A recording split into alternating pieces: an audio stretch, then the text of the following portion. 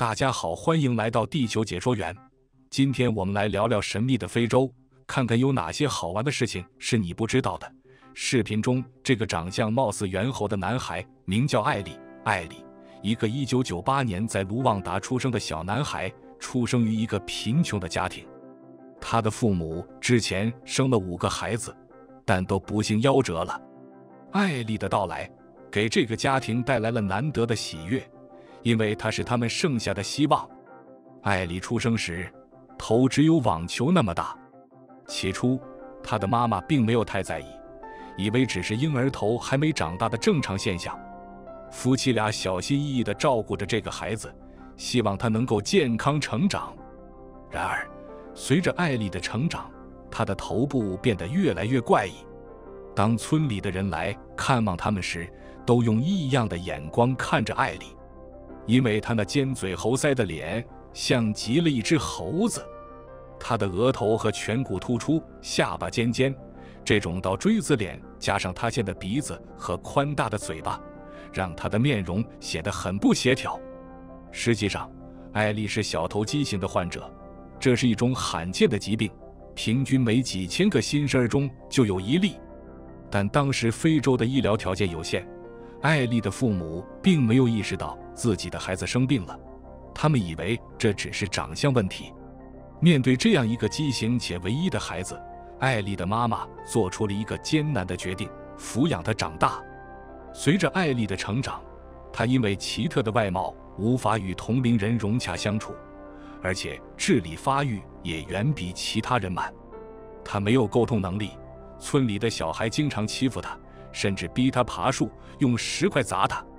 孩子附近的大人都不把艾丽当作人，他们觉得艾丽就是一只动物，一只猴子。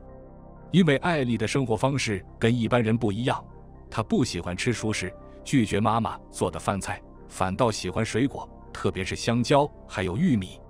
他在野外摘水果，有时候饿得不行就吃点杂草。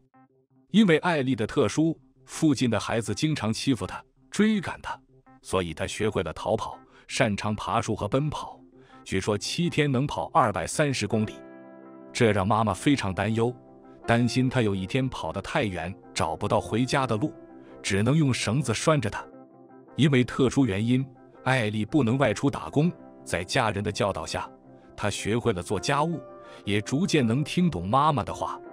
那些曾经欺负她的孩子长大了，也不再找她麻烦。但艾丽还是离不开父母的照顾，日常生活不能自理。艾丽的事情被报道后，收到了世界各地的捐款，当地人慢慢接受了她。现在她每天都穿着西装去当地一所特殊学校学习，希望艾丽一家在未来能过上更好的生活。有个地方，半数以上的年轻人都对止咳糖浆上瘾，同时失业率高达百分之九十五。这里曾拥有全球最大面额的货币一百万亿，就算天地银行也需要从这里进货。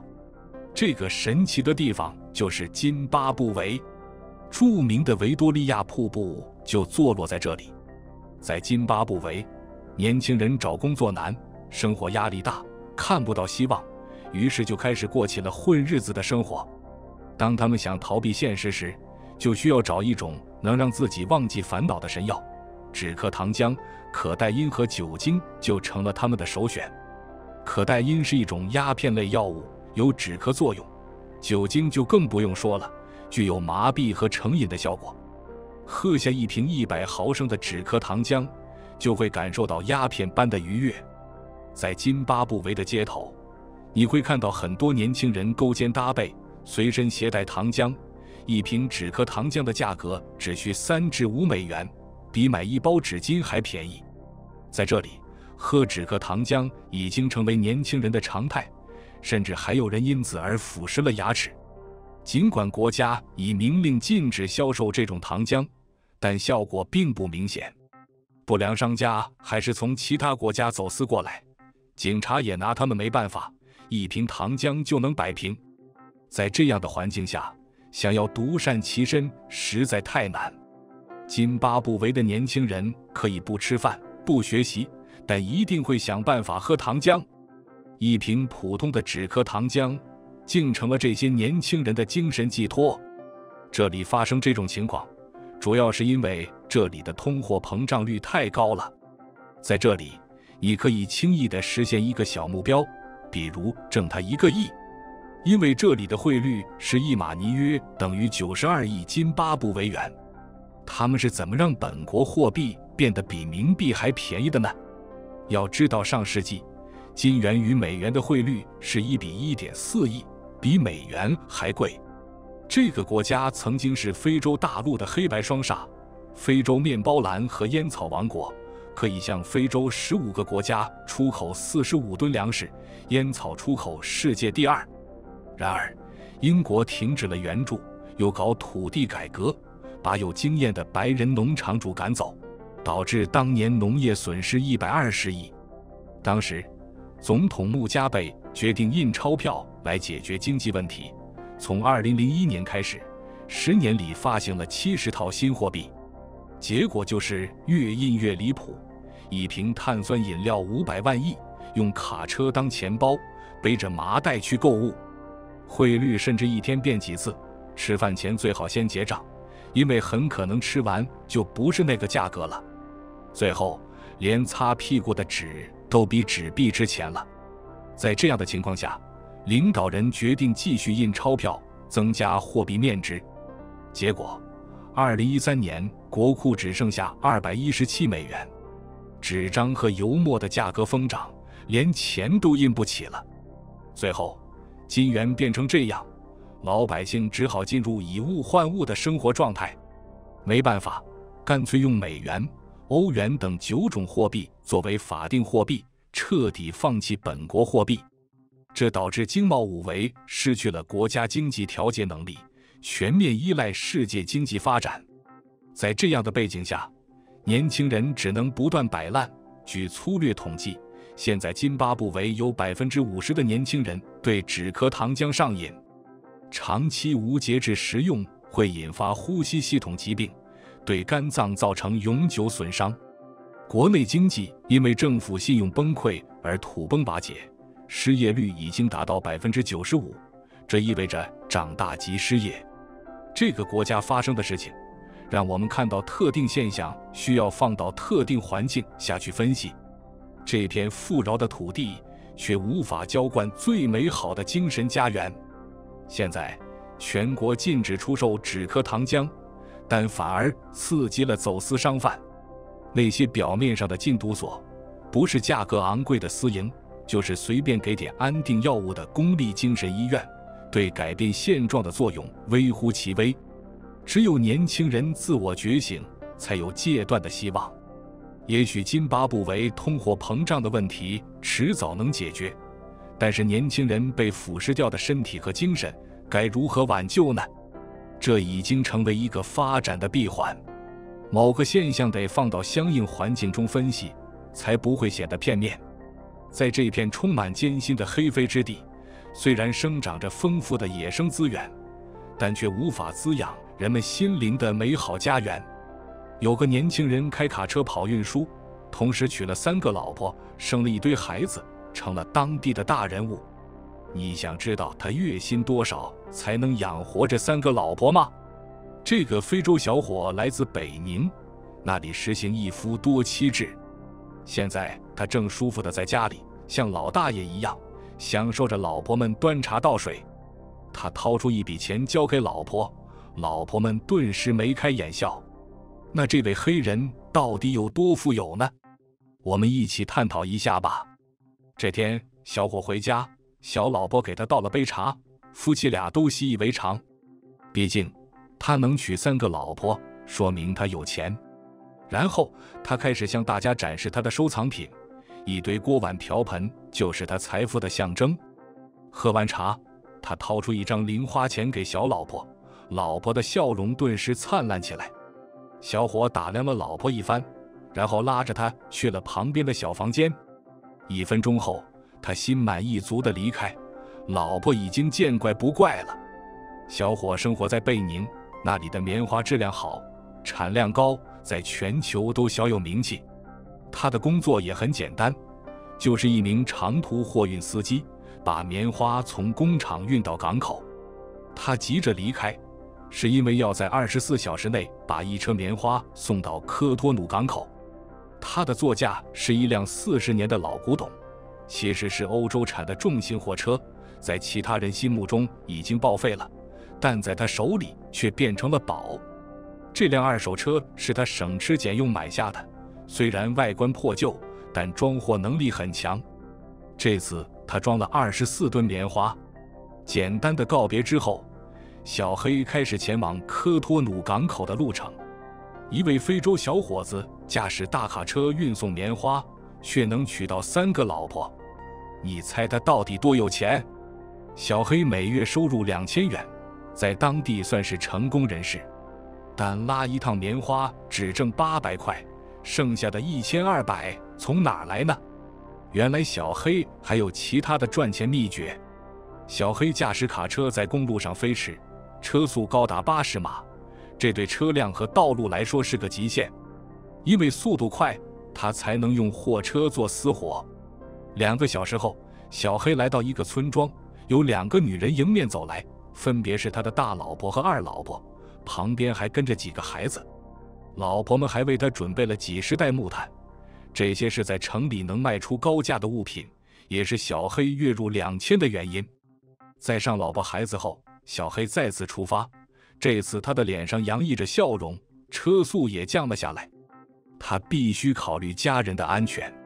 随着路程过半，路况越来越差，危险无处不在。看到路边被撞翻的汽车。小黑更加小心翼翼地降低车速，虽然这条路危险重重，但它能让小黑赚到养活整个大家庭的钱。天色渐暗，小黑在路边休息。第二天早上，他先将木炭卖给了城里开餐馆的人家，这一趟净赚六百多块。随后，他马上前往科托努港口。几个小时过去，小黑终于来到了港口。此时，前面已经有许多正在排队的火车。又等了三个小时，小黑终于卸掉了车上的二十四吨棉花。然而，工作人员却表示，洁白的棉花被木炭弄脏了，于是想要退货。好在，最终有一个外国商人看上了小黑，才不至于白跑一趟。最后，小黑又回到了小老婆那里。像这样的单子，小黑每个月至少跑两趟。等到攒够了钱，他还想再迎娶一位更加年轻漂亮的妻子。而非洲有一男子。一个人娶了十二位妻子，他们睡觉该怎么安排呢？你绝对想象不到，眼前这位黑不溜秋的大叔居然有十二个妻子，他们所有人都其乐融融的生活在一栋房子里。但大叔觉得还不够，他的梦想是娶二十个妻子。你觉得他能实现这一梦想吗？大叔生活在非洲卢旺达，这里一夫多妻制度十分普遍。不过这里穷也是真的穷，由于大叔是医生。这一职业在当地十分吃香，至少养活一大家子不是问题。忘了说，大叔的十二个老婆，一共为他生下二十九个孩子。大叔的第一任妻子和他结婚十六年，保持着两年生一个的频率，一共生下了八个小孩。但大叔不是什么好老公，在和大老婆结婚两年后，直接带回来一个女人，说是二老婆。随后就有了第三、第四、第十二任老婆。不过让人意外的是。妻子天团都住在一个房子，他们并没有想象中的争吵。再看看大叔，每晚都去不同妻子的房间，主打一个雨露均沾。只不过周二、周四的时间都属于大老婆。当妻子天团被问及是否满意丈夫的行为时，大老婆稍微有点羞涩，表示他们知道十二个人共享一个男人，所以不会为此而争吵。而且他们每个人都有严格的时间表，只要按照上面的来。不存在谁被冷落的事情。其实大叔在成为医生之前，只是一名普通的修鞋匠，通过努力才当上医生，然后迎娶了十二位妻子。当然，妻子天团不吵架也有大叔的功劳。比如之前一次，妻子天团爆发了严重的内讧，小黑没有偏帮谁，而是一个人准备好饭菜，然后告诉妻子们要相互尊重。这种能解决问题的男人，谁能不爱？事后他还给妻子们买衣服。就此化解了妻子们的矛盾。从那之后，妻子天团便不再争吵。这样的男人，你觉得他能娶上二十个媳妇吗？许多城市都有贫民窟，但这个地方的贫民窟很不一般。这里的房子全都在水面上，穷得连土地都没法拥有。人们也管这里叫非洲版的威尼斯。马可可，这个非洲最大的漂浮贫民窟，坐落在拉克斯泻湖，位于尼日利亚最大港口城市拉各斯。这里虽然是非洲的主要金融中心，但在繁华背后有一大片破败不堪的地方。在污水河上，距离水面不到一米的地方，木头房子密密麻麻地排列着，看起来很危险，就像一个小村落。在这狭小的空间里，竟然生活着二十多万居民，实际人数可能还更多。马可可原本是个渔村，村民们靠打鱼为生。在水面上建起了高脚楼，如今，这里的大部分人仍然从事这个行业，因为城市生活成本过高，土地资源短缺，底层人民被越来越多地挤到水上贫民窟，在这里，无数饥饿的流民艰难求生，在错综复杂的水道上，各种载人小船穿梭不停，有时候还会堵船。但这是他们唯一的交通工具，公用厕所也建在水上，污水、厨房残渣和垃圾都汇集在各自屋棚下的水里，散发出难闻的气味。尽管如此，这里应有尽有，甚至有移动的水上商店、酒吧、理发店和学校。当地的孩子很小就学会了游泳，他们能在水上漂浮和游泳，这是他们首先要掌握的本领。然而，这里的学校不多，不是所有孩子都能上学。饮用水要买，电几乎不存在，但他们还是喜欢生活在这里。马可可的人们有一个共同点，就是把传宗接代当作头等大事。几乎每个家庭都有很多孩子，虽然物质上不富裕，但谈到满堂的子孙，他们非常自豪。这可能是马可可规模不断扩大的原因之一。随着规模越来越大，马可可变得鱼龙混杂，这里开始隐藏着许多不法分子，犯罪猖獗，交通拥堵等社会问题也随之而来。二零一二年，当地政府宣布拆除贫民窟和高脚楼，但由于居民的激烈反对，甚至导致流血和死亡。马可可才得以继续生存，但这样的拆迁计划绝对不会是最后一次。头顶水桶，走十几公里甚至几十公里找水源，这是不少非洲妇女和孩子的主要任务。对比四十度的高温和烈日，他们更担心没水喝。现在来说说非洲的饮水问题，在旱季，找水成为这些人生活的重心。他们早出晚归，就为了背回家一桶脏兮兮、泥沙满溢的水。这水虽然不清澈，却是一家老小和牲口一两天的全部水源。你可能要问：非洲怎么这么干旱缺水？难道方圆十里找不到一口井吗？其实这有点误解非洲了。英国地质调查局早在十几年前就勘探出一个颠覆常识的结果。非洲不仅不缺水，地下水还特别丰富，储量是地表水的一百倍还多，大约有六十六万立方千米。更让人意外的是，那个年降水不超过二十二毫米、以干旱著称的撒哈拉沙漠，其实是非洲地下水含量最丰富的地方。撒哈拉沙漠形成的时间并不长，大概在五千杠一万年前，当时还是一片绿洲。丰富的地下水就是那时蓄起来的。沙漠化后，这里成了无人区，地下水资源得以保存。近年来，许多国际组织也进入非洲，帮助当地人民。所以，从任何一个角度看，非洲的饮水问题都不应该那么严重。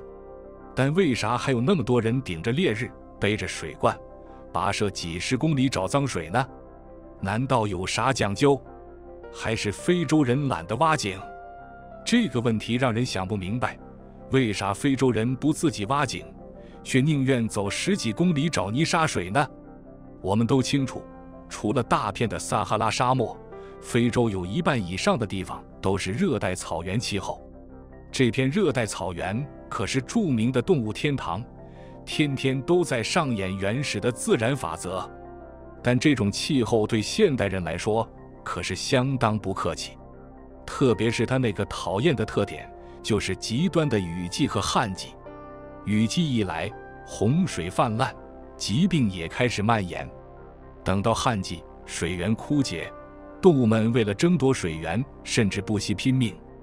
正因为这样，生活在这种气候下的非洲人，很多时候都不愿意住在水源附近，因为雨季的时候湿气重，容易生病，还容易传播。但为了生活，他们不得不去种地，所以一到旱季，他们就得跑很远的地方找水，这样一来，他们就得跟着水源迁徙，意味着要放弃辛苦种的庄稼。而且旱季的时候，不是哪里都有水，想长期守着一个水源地，几乎是不可能的。所以，这些非洲人之所以选择喝泥沙水，是因为气候的限制。那你可能会问，既然地下水这么丰富，他们为什么不愿意挖井呢？你知道吗？有些非洲人宁愿喝泥沙水，也不愿意挖井，这是为什么呢？实际上，真正面临水资源短缺的非洲人，大多生活在极度贫困的地区。这些地区的居民基本都位于不宜开发的地区，而且水源层距离地表相当远，要打出一口井来，需要挖到二百米深，靠人力是无法完成这样的工程的。此外，缺水还增加了土地塌陷的风险。对于贫困地区的人们来说，价值上万美元的打井设备简直是想都不敢想的事情。当然了，并不是所有非洲人都靠打水为生。据2021年的统计，非洲大约有3亿人生活在极度缺水的环境中，这些人很可能需要走很远的路去取水。不过，他们的缺水问题主要集中在旱季。实际上，全球每年都有一个月的极端缺水期，大约有四十亿人受到影响。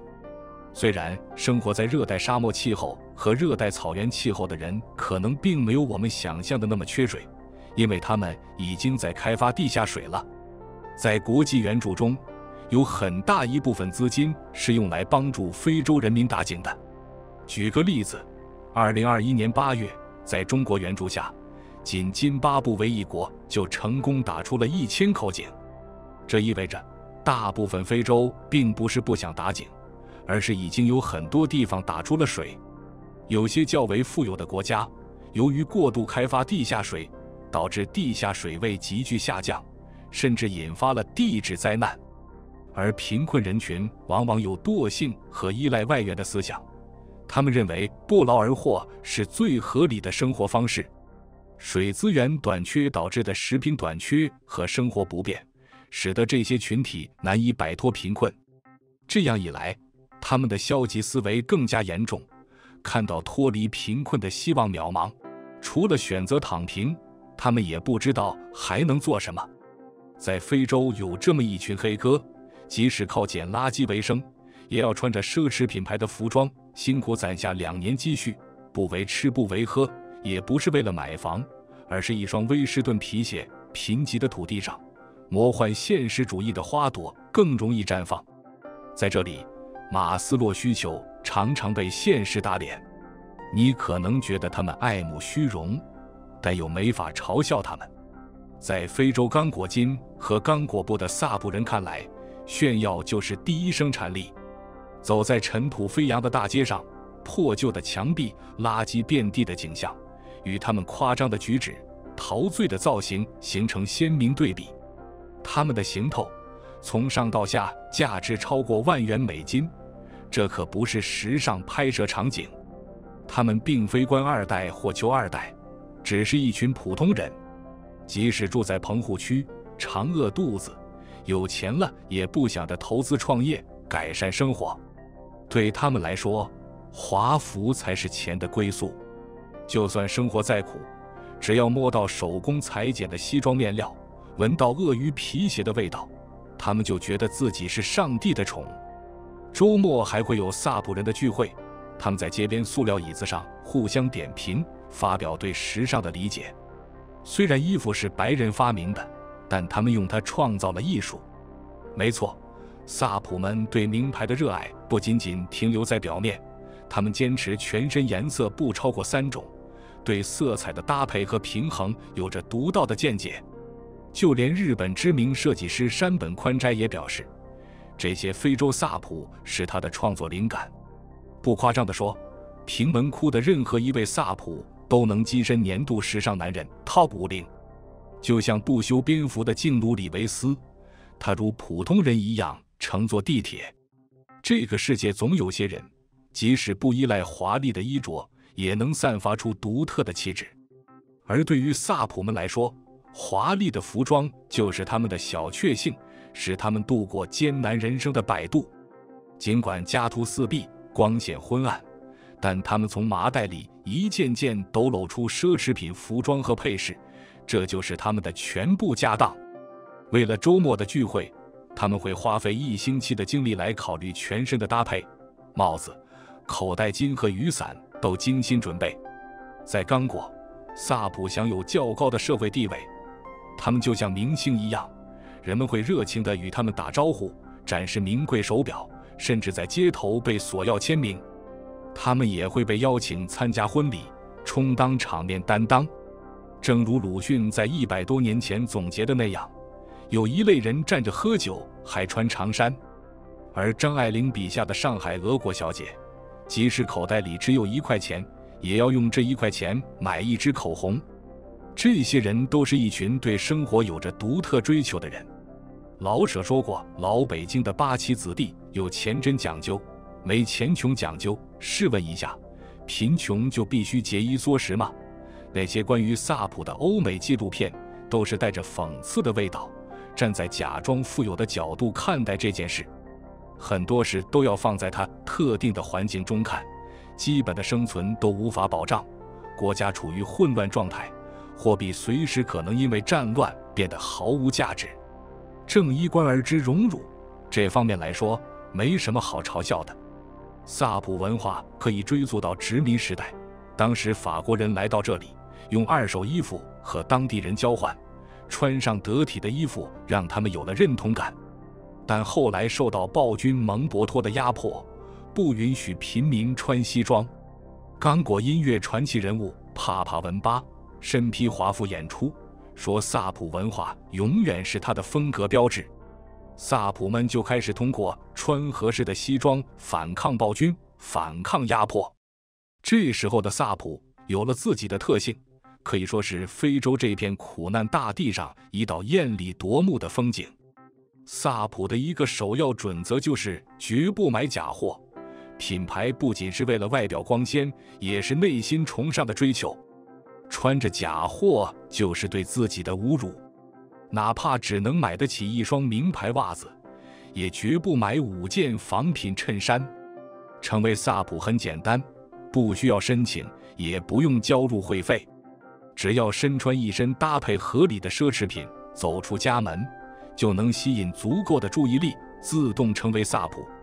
但只有华丽的外表是不够的，还要像真正的绅士一样要求自己，保持优雅的举止，不沾黄赌毒，不打老婆，不骂街，不犯罪，有自食其力的能力。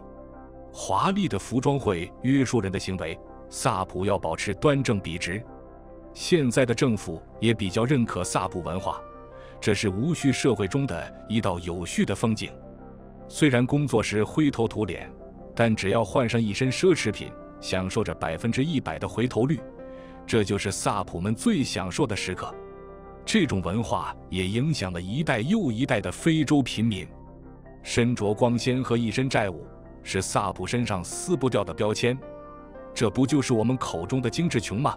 连干净的水源都没有办法供应的国家，却有人斥巨资购买奢侈品。但是这片被犯罪和疾病蹂躏的土地上，基本道德快要沦陷殆尽的国家，人们需要这份特立独行，维护自己的尊严。你可以说这是虚荣，也可以说这是抗争。二零一五年，他们受到邀请，去了时尚之都巴黎时尚周走秀，逐渐走进人们的视线。时尚对于他们来说似乎是信手拈来的天赋，一般人也就是个时尚博主，而他们就是时尚领主。萨普们通过华服修改了宿命，为他们写好了剧本。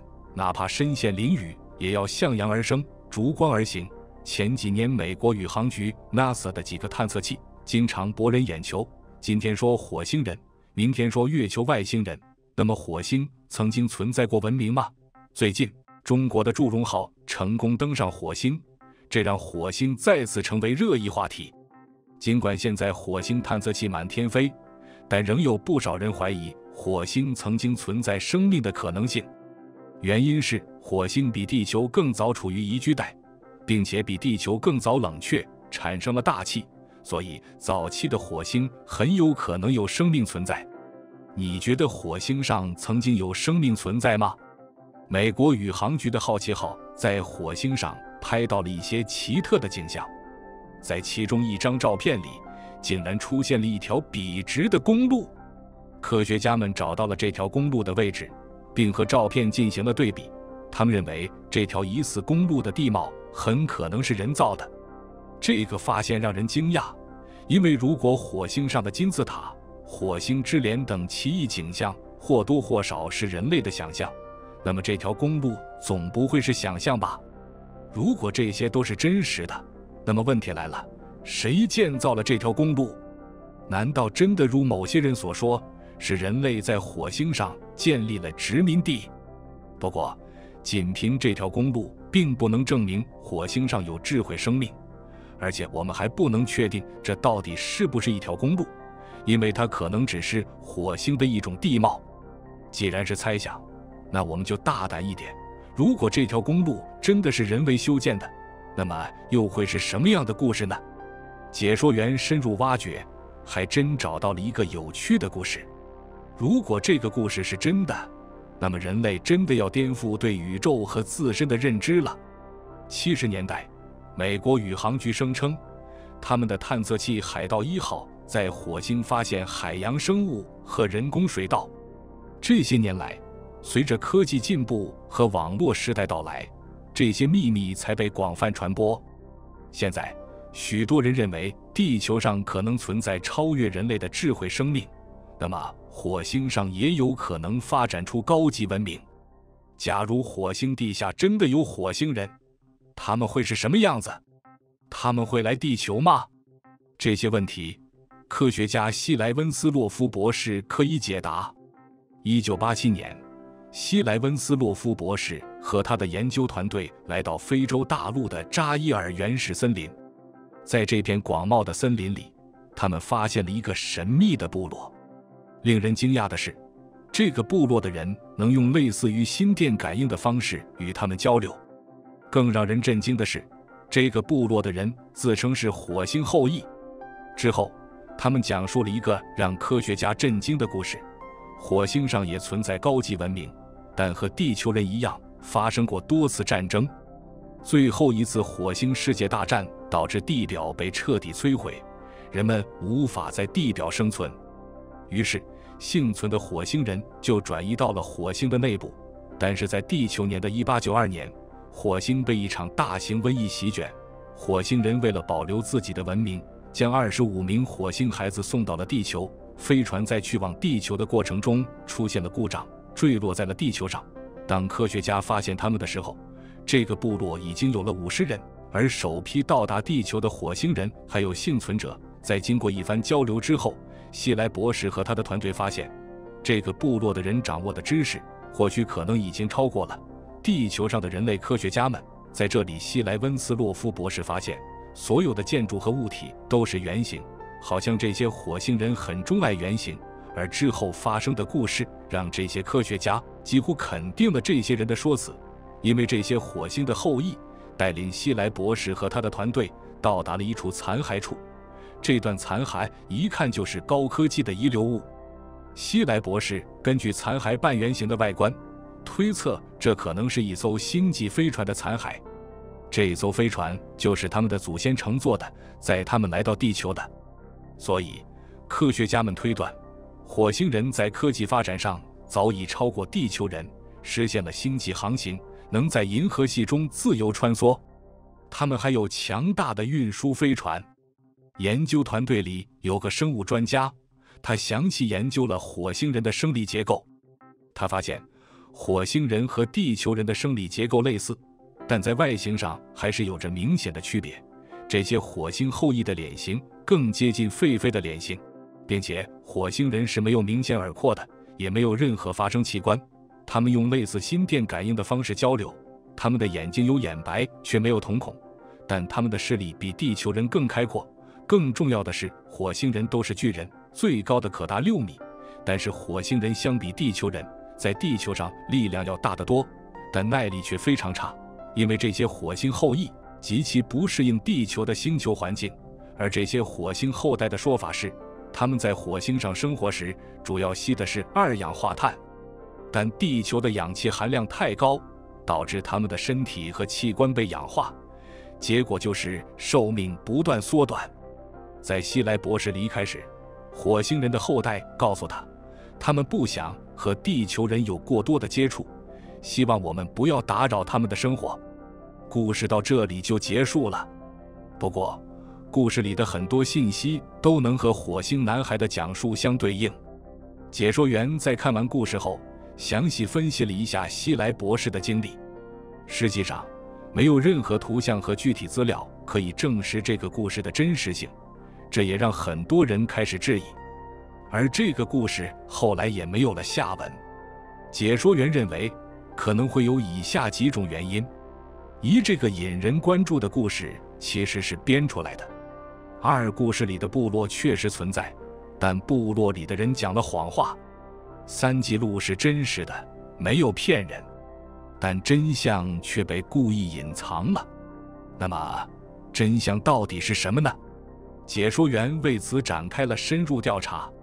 首先，网络上除了这个故事，关于希莱温斯洛夫博士的信息一点也没有。这在信息丰富的网络世界里真是奇怪。